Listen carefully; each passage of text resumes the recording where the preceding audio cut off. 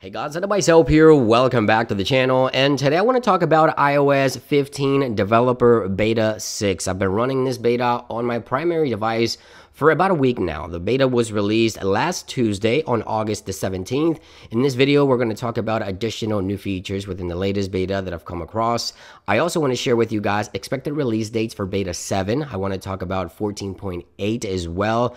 And I want to talk about, of course, the YouTube community poll where you guys provide feedback on how the software has been working overall. And the first thing I want to talk about is additional changes within the software. Now, it looks like on the latest beta, some of the major changes happened within Safari. In case you didn't know, you now have the option in Safari extension here in settings to choose rather the uh, bottom bar here or the top single tab on the top for Safari. This was somewhat controversial. I like the one here on the top here. There's some minor changes that I didn't talk about in my initial beta. If you tap and hold here, you now have the option, of course, to paste in search. You also have copy, voice search, and move to tab group as well. This is something new within the latest beta that I've come across after using it for several days. And if we go into landscape mode here, we also have a very new UI here for the tabs. It looks very similar to iPadOS. I think I like that a lot. So yeah, a lot of the changes within beta 6 did happen within Safari. Other than that, if you didn't watch my initial coverage for the additional features within the software,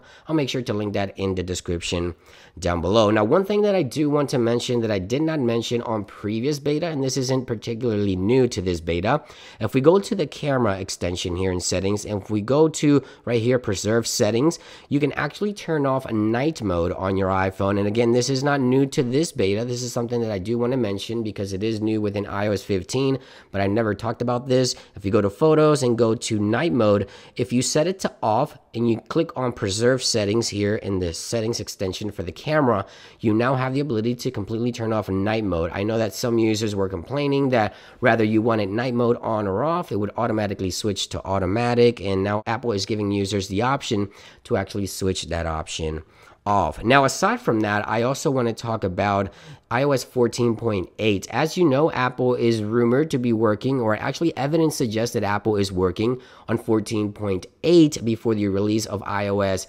15 to the public. Now, if you follow me here on the channel, you already know that iOS 15 is expected to be released mid to late September. So, if Apple was to release iOS 14.8, which could be changing the way iOS operates entirely. And I'll link my video here in the cards, so make sure you check that out. That software is aimed to be released within the next two weeks. I would like to say I'm not sure if Apple is going to be doing beta testing for that software or if this software will be pushed uh, instantly uh, to everyone worldwide. Of course, stay tuned here to the channel for more information on 14.8. If Apple does decide to release that software again, videos will be in the cards and in the description down below. But in about a week or two, we should expect that software to be released before before we see iOS 15 officially released to the public if Apple moves forward with the plans.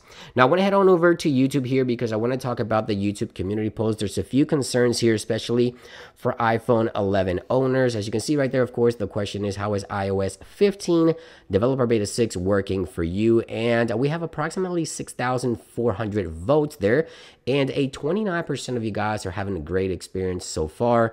19% of you guys say it's okay, but there's still some bugs. A 4% of you guys say it's very buggy, actually. And a whopping 48%, close to half of you guys that voted, say you're not running the latest beta. Now, you can come back to these YouTube community posts, as I mentioned, every time. Uh, weekly, as Apple releases new beta, these YouTube community posts do get updated. And you can also read some of the comments here that some users are expressing concerns. For example, uh, right here, poor battery life on iPhone 11. Okay, so a lot of users are reporting battery life issues on iPhone 11. That's something to be uh, concerned about. That's one of the most popular comments here. Right here, it says, Great so far. I'm using on iPhone 10R.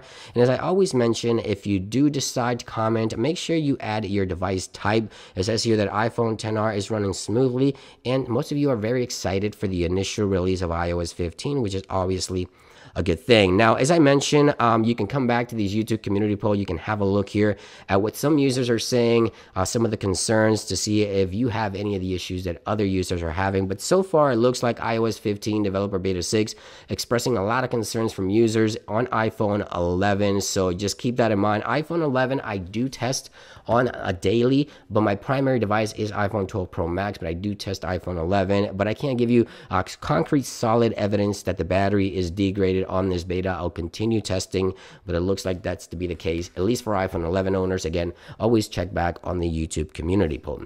And last but not least, I want to talk about iOS 15 Developer Beta 7. Now, as you know, if you follow me here on the channel, Apple was on a two weeks release schedule, and it looks like last week they shifted that to a weekly release schedule. So, if Apple continues on a weekly release schedule, as early as tomorrow, Tuesday, August the 24th, we could see iOS 15 developer beta 7. Yes, and Apple is still working on the software, polishing things up before the official release. As I mentioned, expect an official release towards the last two weeks of September, maybe even the first week of October. So towards this time frame here, we should see a release again if Apple decides to push 14.8.